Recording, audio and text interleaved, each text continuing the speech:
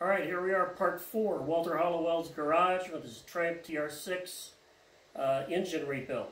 Now we have the connecting rods onto my forged pistons, and I have the piston rings installed, and ring number two has a top and a bottom, so make sure you get that right.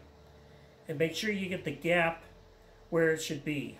Just follow your manual, it'll tell you. I've already coated the cylinder wall with oil.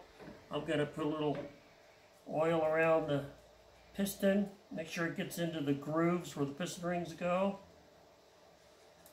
Then I'll put my put it in my compressor.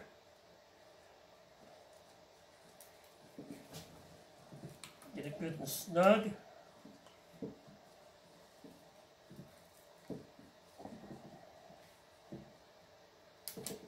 see that my new connecting rod bearings are in place and the uh, connecting rod journal on the crankshaft is lubricated as well.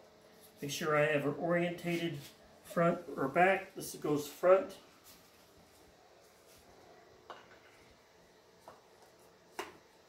Place it in.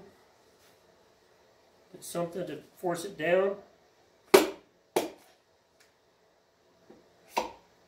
Okay, now it's now it's above the crankshaft.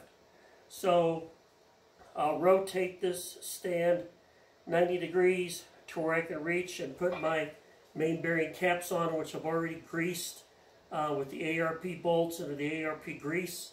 Just follow the instructions on that. So the high compression pistons are in place. It's decked to zero. I'll show you that later. But this is the end of part four of our engine rebuild. See you soon.